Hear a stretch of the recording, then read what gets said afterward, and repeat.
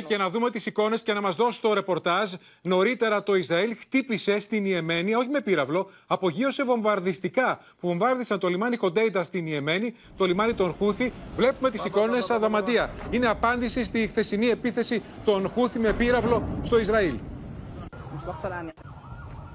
Συγκλονιστικές εικόνες ήταν δεκάδες τα μαχητικά αεροσκάφη που κατάφεραν να πετύχουν τους στόχους τους στο λιμάνι της Ιεμένης. Πρόκειται για την Χοντέιντα, όπως και το λιμάνι στην περιοχή Ρας Ίσα. Βλέπουμε και τον πυκνό καπνό που υψώνεται ε, στην περιοχή. Σύμφωνα με την επίσημη ενημέρωση πλέον και από τον στρατό του Ισραήλ, έχουν καταφέρει να πετύχουν πλήγμα ε, στο λιμάνι της Χοντέιντα, στο λιμάνι της Ρας Ίσα, όπως είπαμε, όπως και σε ε, σταθμούς παραγωγής ηλεκτρικής ενέργειας και σε δεξαμενέ πετρελαίου. Ισχυρίζεται το Ισραήλ ότι οι Χούθη είναι αυτοί που διευκολύνουν το Ιράν όλο το προηγούμενο χρονικό διάστημα και με την προμήθεια του πετρελαίου, όπως και με τις διακινήσεις και τις μεταφορές του οπλισμού. Μάλιστα, χθες να θυμίσουμε ότι είχαμε μια επίθεση από τους ε, Χούθη ε, με κάποιο, τρόνο, με κάποιο πύραυλο που προσπάθησαν να πλήξουν το κεντρικό Ισραήλ με τις σειρήνες να ηχούν ακόμη και στο Τελ Αβίβ. Και να θυμίσουμε ότι και τον Ιούνιο υπήρξε ε, μια επίθεση από ντρόν τον ε, Χούθη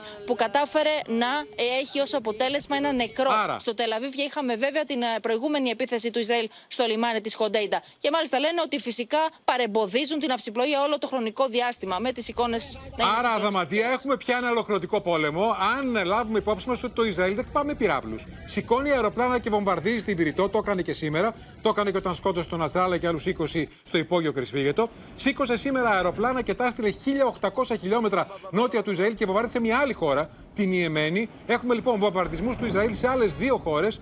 Και έχουμε και το Ιράν και θα μας πεις και την ε, κα- βαθμό ετοιμότητας του Ισραήλ. Το Ιράν να λέει θα σας καταστρέψουμε με αυτά που κάνετε.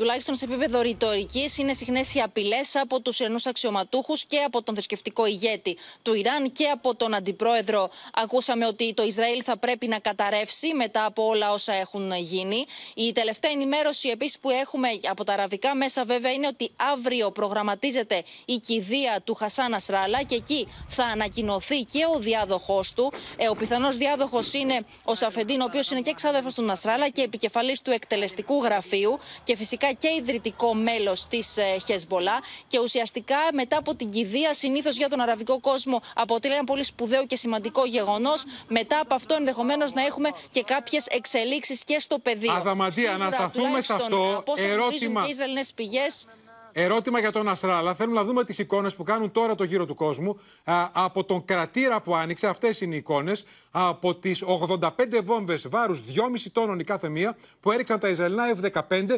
ισοπεδώνοντας το υπόγειο κρυσφύγετο της Χεσμολά σε βάθος 30 μέτρων κάτω από τη γη. Εδώ λοιπόν λέει το Ισραήλ ότι δεν υπάρχει, έγινε στάχτη ο Νασράλα. Και βγαίνει η Χεσμολά και λέει όχι, τον ανασύραμε άθικτο.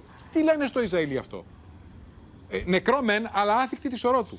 Αυτό που κυκλοφορεί αυτό που κυκλοφορεί τα τελευταία λεπτά, ακόμη και σε Ισραηλινά μέσα, είναι ο- ότι αίτιο του θανάτου του ήταν η ασφυξία, ε, διότι ο ίδιος βρισκόταν σε υπόγειο, σε ένα δωμάτιο Α, ασφαλείας μάλιστα. και από τα αέρια και από τις αναφημιάσεις ουσιαστικά που υπήρχαν μετά από την ε, εκτόξευση των ε, βομβών, αυτών 85 βόμβες άλλωστε ε, γνωρίζουμε ότι εκτόξευσε το Ισραήλ στο συγκεκριμένο τετράγωνο για να πετύχει το πλήγμα, ε, οδηγήθηκε ο ίδιος στο θάνατο. Μάλιστα πλέον και η οργάνωση δημοσιεύει σήμερα και μία φωτογραφία με την άδεια καρέκλα του Χασάν Ασράλα, υποδεικνύοντας βέβαια και την απώλεια που έχει υποστεί στην κεφαλή της και ετοιμάζεται για τη διαδοχή με τις διεργασίες πάντως να είναι Πριν από ιδιαίτερα λίγο έντονες και στη ανακοινώθηκε Χεσμολά, ότι αλλά και στο ορκίστηκε ο Ιράν, διάδοχός τουλάχιστον από ό,τι του, ο γνωρίζουμε ξάδελφό του. Ε, το ανακοίνωσε η Χεσμολά.